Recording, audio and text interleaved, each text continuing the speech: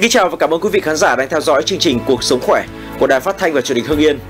Thưa quý vị và các bạn, đau mắt đỏ hiện nay đã trở thành dịch, bệnh có thể gây biến chứng nặng nề nếu không chữa trị đúng cách.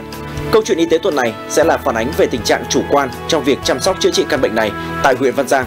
Qua đó rút ra bài học chủ động phòng tránh bệnh đau mắt đỏ trong cộng đồng.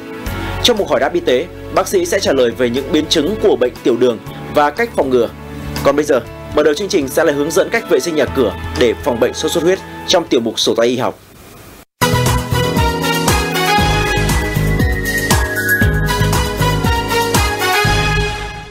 Hiện nay đang là thời điểm bệnh sốt xuất huyết gia tăng, chính vì vậy người dân cần phải chủ động trong công tác vệ sinh nhà cửa để phòng ngừa bệnh không phát triển thành dịch, gây nguy hiểm cho cộng đồng. Trong mục sổ tay y học ngày hôm nay, y sĩ Trần Thị Thúy, trạm y tế xã Cẩm Xá, thị xã Mỹ Hào sẽ giới thiệu đến quý vị và các bạn cách vệ sinh nhà cửa để phòng tránh sốt xuất huyết. Bệnh sốt xuất huyết là một bệnh truyền nhiễm cực kỳ nguy hiểm do virus sốt xuất huyết đanh. Bệnh lây truyền từ người bệnh sang người lành do mũi vằn đốt qua vết đốt. Ở Việt Nam thì phát triển ở tất cả các vùng miền. Bệnh phát triển quanh năm nhưng dễ thành dịch ở các mùa mưa. Cái biểu hiện của bệnh là bệnh nhân sốt cao liên tục 39 đến 40 độ, đau đầu, đau các xương khớp, sau đó thì nổi các các ban, xuất huyết dưới da, nặng hơn là xuất huyết nội tạng. Đặc tính của bệnh nguy hiểm như vậy nhưng mà chưa có thuốc điều trị đặc hiệu và chưa có vaccine phòng bệnh. Thế để phòng bệnh được tốt, mỗi người, mỗi gia đình và cộng đồng cùng phải chung tay để đẩy lùi bệnh bằng cách diệt loang quăng bọ gậy và muỗi để phòng sốt xuất huyết bằng cách mỗi gia đình hãy đậy toàn bộ chum vại nước kín để không cho mũi sinh sản. Toàn bộ những dụng cụ chứa nước như là lu, xô, chậu và lọ hoa phải được thay rửa nước thường xuyên. Tất cả những vật dụng phế thải không cần thiết như vỏ dừa, lốp xe, mảnh bát vỡ cần phải được úp lại. Mỗi khi mưa, nước không trú động, mũi không sinh sản và đẻ trứng ở đó. Biện pháp thường xuyên là đi ngủ phải làm bàn, mặc quần áo dài để phòng mũi đốt. Thế đặc biệt là bà con thường xuyên phải à, vệ sinh môi trường xung quanh nhà cửa nhà mình quần áo phải gọn gàng đặc biệt mũi là dễ sinh sản ở các xó treo quần áo. Rồi là đặc điểm của mũi là đốt mạnh vào ban ngày đặc biệt sáng sớm và chiều tối. Cho nên phải lưu ý khi nhà có trẻ nhỏ. Khi có biểu hiện sốt thì phải đến cơ quan y tế để được tư vấn khám và điều trị kịp thời để tránh những biến chứng nguy hiểm. Thế và những người dân phải kết hợp với ngành y tế trong công tác phòng chống dịch để phun trừ muỗi với thông điệp không có bọ gậy không có loang quang, không có sốt xuất huyết. Nói đến bệnh lao, thông thường mọi người sẽ nghĩ đến lao phổi mà không mấy quan tâm đến bệnh lao ngoài phổi, một thể bệnh lao khác. Đây là căn bệnh diễn ra âm thầm nhưng để lại hậu quả nặng nề nếu phát hiện điều trị muộn. Ngay sau đây, bác sĩ Mai Trọng Tuấn, khoa lao ngoài phổi, bệnh viện phổi Hưng Yên sẽ hướng dẫn quý vị các biện pháp dự phòng lây nhiễm bệnh trong cộng đồng. Lao màng phổi là lao ở ngoài các tổ chức ờ, ở nhu mô phổi. Ở trong đó ví dụ như là có ờ, lao màng phổi, là lao màng bụng, Ờ, lao màng tim chẳng hạn, hay là ví dụ như là lao hạch. Nặng nề nhất là trong hai vấn đề này là ở lao ờ, ngoài phổi là lao màng não và lao xương khớp. Còn ở dưới nữa ví dụ như là các bộ phận là lao ờ, sinh dục hay lao đường tiết điệu vân vân lao màng phổi là biểu hiện chung ví dụ như là ở màng phổi thì có thể là gây đau ngực và khó thở đấy còn là ví dụ như là ở xương khớp thì có có thể là đau xương khớp và hạn chế vận động các khớp đấy còn ở trên màng não thì có thể là gây đến hiện tượng là đau đầu uh, hoa mắt buồn nôn. Lao màng bụng ấy thì có thể uh, hiện tượng đau bụng uh, đau dọc cho các khung đại tràng hoặc là đi ngoài. Lao màng phổi thì sẽ ít có khả năng lây nhiễm hơn là các uh, lao phổi. Đối tượng mà nguy cơ cao thì là những người ví dụ như có sức đề kháng uh, kém tiếp xúc với môi trường uh, uh, trong nhà có người bị bệnh lao hoặc là xung quanh. Bệnh lao ngoài phổi thì ờ, nó âm ỉ nó không dồn dập như kiểu là ở lao phổi. Nên là hầu hết những ờ, người đến đây cũng là đã, đã bị từ có thể là lâu rồi. Đấy, chứ không phải là bị sớm bởi vì cái phát ờ, hiện một cái lao ngoài phổi này khó khăn hơn là phát hiện lao phổi. Có thể là ví dụ lao phổi mình có thể xét nghiệm đồng hoặc là nó ho nó triệu chứng nó dồn dập hơn thì phát hiện sớm hơn. Nhưng cái này nó cứ âm thầm ví dụ khi mổ ra sinh tiết thì mới biết là mình ờ, bị là lao ruột chẳng hạn. Hầu hết thì mọi người đều nghĩ là lao phổi thôi. Chứ còn ở cái lao ngoài phổi này thì rất ít người biết. Phòng uh, ờ, lao ngoài mặt phổi cái đầu tiên là hạn chế những cái vấn đề là ví dụ như là nguồn lây ở trong gia đình ở cái nguồn lây như hô hấp thì chịu khó đeo khẩu trang kiểu như là ăn uống thì ăn chín uống sôi để, để tránh những cái đấy. Còn uh, vấn đề là cũng khuyên tất cả mọi người ví dụ như lên đi khám định kỳ 3 đến 6 tháng một lần hoặc là khi có triệu chứng ho sốt hay là vã mồ hôi về đêm gầy sút cân thì cũng lên đi khám.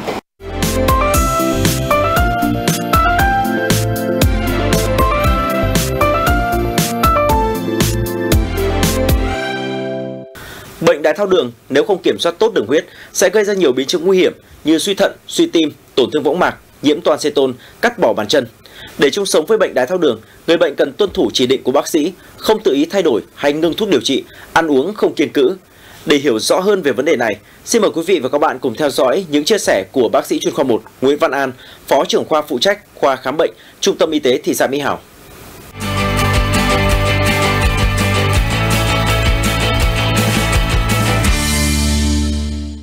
Đái tháo đường thì ờ, có rất nhiều các cái biến chứng, thế thì tuy nhiên thì ờ, cái biến chứng đầu tiên phải kể đến đó là cái biến chứng ờ, trên tim mạch. Thông thường thì trên tim mạch bệnh nhân có các cái biến chứng về bệnh mạch bệnh.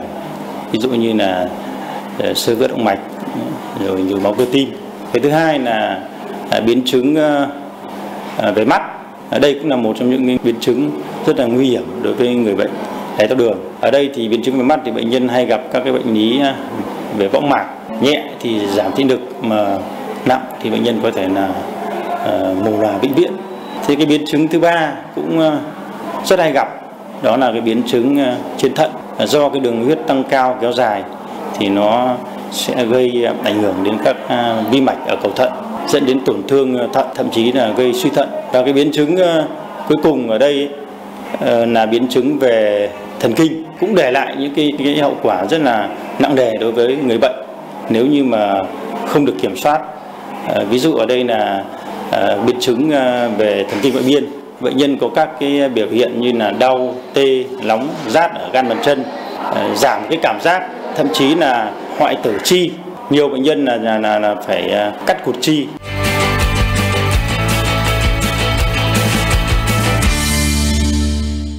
Đối với những bệnh nhân mà à, khi mà đã bị biến chứng của bệnh tiểu đường ấy, thì lời khuyên à, của chúng tôi là các bệnh nhân là nên à, chủ động đến các cơ sở y tế, đặc biệt là các cơ sở y tế có các chuyên khoa về nội tiết đái tháo đường để được khám ờ, tư vấn và điều trị cho nó kịp thời.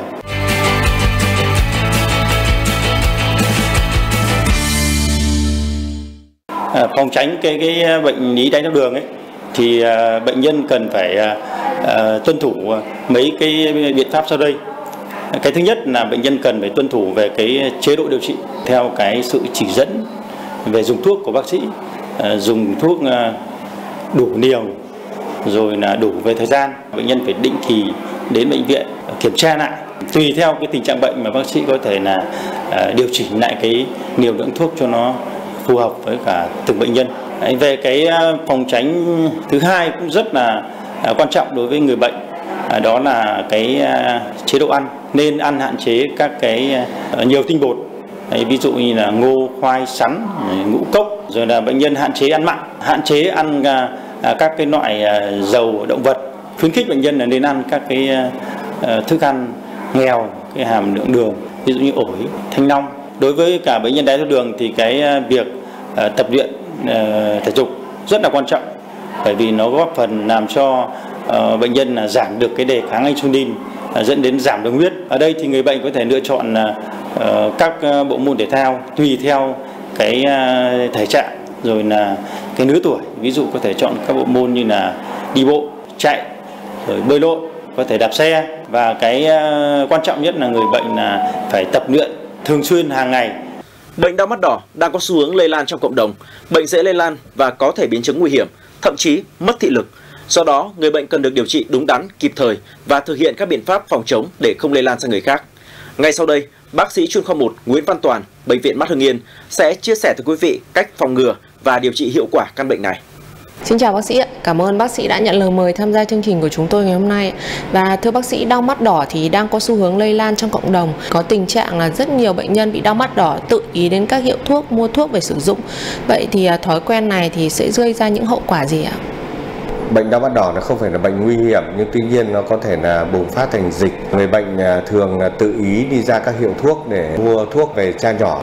Khi bị đau mắt đỏ gây ra những hậu quả khôn lường, bệnh trở nên trầm trọng hơn có thể à, dẫn đến viêm nét răng mạc và có thể dẫn đến à, ảnh hưởng đến thị lực của người bệnh.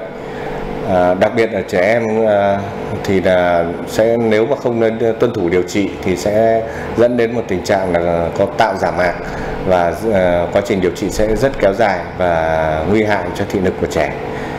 nên đến các à, cơ sở khám chữa bệnh chuyên khoa mắt để khám và điều trị. Vâng thưa bác sĩ, nhiều người thì à, truyền tai nhau về cái kinh nghiệm dân gian tức là sử dụng lá trầu không để xông rửa mắt. Vậy thì à, phương pháp này có được khuyến cáo không ạ?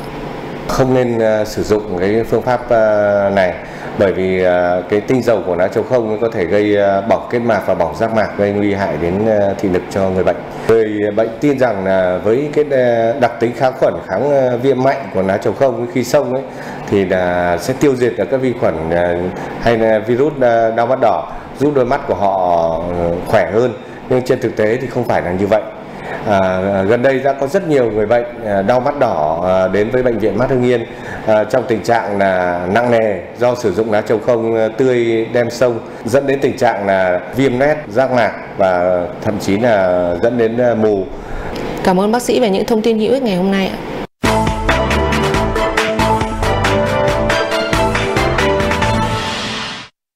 Bệnh đau mắt đỏ rất dễ mắc, dễ lây lan trong cộng đồng. Tại một số địa phương, bệnh đau mắt đỏ có xu hướng gia tăng trong cộng đồng. Tuy nhiên, nhiều người dân vẫn giữ những thói quen xấu trong phòng và điều trị bệnh, ghi nhận tại xã Liên Nghĩa, huyện Văn Giang. Ngay khi phát hiện hai con có hiện tượng cụm mắt, đau, sưng, đỏ mắt, chảy nước mắt, chị An ở thôn Vĩnh Tuy, xã Liên Nghĩa đã ra ngay hàng thuốc gần nhà mua một loạt thuốc nhỏ mắt cho các con sử dụng. Tuy nhiên, sau 3 ngày điều trị, tình trạng trên không giảm đi mà chỉ thấy mắt đau rát dữ dội. Theo bác sĩ Viện Mắt Hưng Yên, một trong những loại thuốc trên có thành phần corticoid. Sử dụng loại thuốc này không đúng chỉ định trong thời gian dài có thể gây ra nhiều tai biến như tăng nhãn áp, gây mỏng giác mạc, thậm chí mù lòa. Cháu nó bị thì chị đi mua thôi. Hôm đầu cháu nhỏ bị thì là chị ờ, lên chị hỏi là cháu bị đau mắt đỏ là cái bạn ấy bán cho hai cái lọ này. Xong hôm sau là bạn lớn bị lây Thế là cái bạn đấy bán cho cái hai cái loại này. Trong đợt khám sàng lọc các bệnh về mắt tại xã Liên Khê đã phát hiện gần 20 trường hợp đau mắt đỏ trong tổng số hơn 50 người dân đến khám. Có trường hợp cả gia đình 4 thành viên đều lây nhiễm đau mắt. Tuy nhiên, theo bác sĩ, số người đau mắt đỏ trong cộng đồng sẽ nhiều hơn con số trên rất nhiều do ý thức phòng tránh của người dân còn chưa cao. Tôi mới phát hiện ra từ tối hôm qua nó cứ tèm nhèm để nó khó nhìn. Tôi cũng thấy xung quanh là cũng có rồi nhưng mà vẫn cứ phải bế cháu chứ không biết là tránh kiểu gì nữa. Đau mắt đỏ đang có dấu hiệu lây lan trong cộng đồng, đặc biệt ở nhóm đối tượng người già và trẻ em. Ở Kim Động và Văn Giang, tỷ lệ bệnh nhân bị viêm kết mạc cấp do virus đang có chiều hướng gia tăng, à, đặc biệt là đối với ở các lứa tuổi là học sinh chiếm tỷ lệ khoảng độ từ à, 10 đến à, 20% số lượng người đến khám. Tiếp xúc và khám à, với bệnh nhân bị đau mắt đỏ thì đa phần là mọi người đều biết qua về cái ờ, đau mắt đỏ.